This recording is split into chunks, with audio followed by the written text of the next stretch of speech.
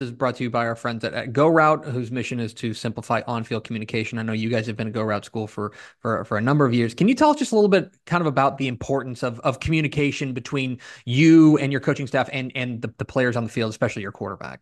You know, communication's key. That's the number one. If we're not on the same page, where, where you're going to be lost. And you know, it, it goes back to coaching our kids. You know, we tell them all the time as long as we communicate, we're going to be okay. Whether the offensive line, you know, or whether our center's calling the protection left or right or what, if we're all on the same page, same way with defense. Even if we check the wrong coverage, but if we're all in the same coverage, we're going to be okay. And for us, you know, with the coaching staff, that's our biggest deal. Hey, we all got to be on the same page. Go out there and communicate. Everybody, you know, pulling the rope in the same direction. And you know, that's the thing about um, the GoRout and all that stuff. It helps us communicate well with the kids, you know, being able to get out there and practice better, you know, faster, more efficient. So it's it's it's the most important thing you can do as a football team is have great communication. Let me let me ask you specifically about Brody. This is a guy who who obviously in this system he's been terrific for you guys. Um, you know, you're the guy who sees him every day in practice. What is it about your your QB one that makes him special? Man, he's um he he's Mr. Cool. Nothing ever bothers him. He um, you know, he's the ultimate competitor he he's the guy that kind of gets on everybody's nerves because you know Saturday morning you come in and man everybody's kind of beat up and he's the dude up there doing jumping jacks like hey let's go let's go you know? You love it. He, he's that type of guy. He just he's always doing everything right. He makes me a better person. There's times when I get on the sideline and I'm like you know acting like a nutcase and he's like coach it's okay. I'm like God man this is the 18 year old telling me it's okay but he's just that type of kid. He, he's a coach's kid, and um, man, he he does a great job of keeping everything in perspective. He's a he, you know he's big young man of, of, faith, and he he believes that you know he's put here to go out and and to do a job, and he goes out and leads right. He's great in the school. Everybody loves him. He's not a um, showboat. He's one of those kids.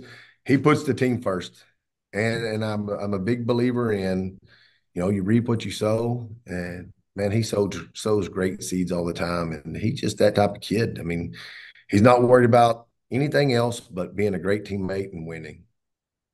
Uh, where have you seen him kind of grow the most as as, as a player uh, over your your tenure coaching him? I, obviously, I've seen him kind of become a, a better player, more reliant, and even a better leader uh, for this team. But where have you seen him grow the most?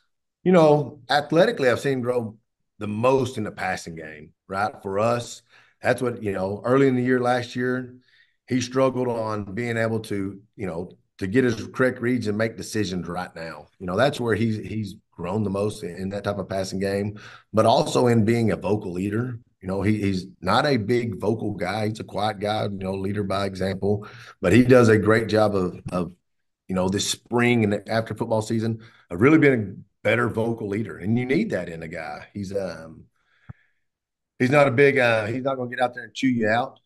He's a big guy that's going to get out there and say, "Hey, you did this wrong. Do this next time." You know, and the guys play hard for him because you know that's the type of dude he is. Uh, I want to ask you a little bit about the the, the team and, and, and moving up to Class 4A. Much ballyhooed uh, when array alignment came out. Uh, if y'all quit growing, then maybe you guys could stay in 3A, but that ain't going to happen anytime soon. Um, the the move to 4A, you guys are off to a fantastic start. Uh, uh, but but but how do you guys how do you guys talk about that that kind of change within the program? You know, it's a um, you know the the the fear of the unknown right? And you know, guys are like, you know, can we? People are wondering, can we compete at the 4A level? And you know, that was the purpose. You know, past couple of years of trying to schedule 4A schools and stuff, just to show, even though we didn't fare very well against the 4A schools last year or last two years. Um, I, I, think it showed our guys that we can go there and compete because there were games that we were right there in the, the games and had a chance to win, but didn't do it. So um, the guys have been great, and now that we we are 4A and we're competing here, they're very good at understanding hey it's it's a, it's a football game against other 17 18 year old kids right? They may have more kids in a school than us but it's 11 versus 11 when you're out there on the field. And you know they've accepted the challenge and we really try to make it a big deal of not focusing on 4a right? Focusing on you know through the spring and the summer of not worrying about what classification we're in but just going out and playing football.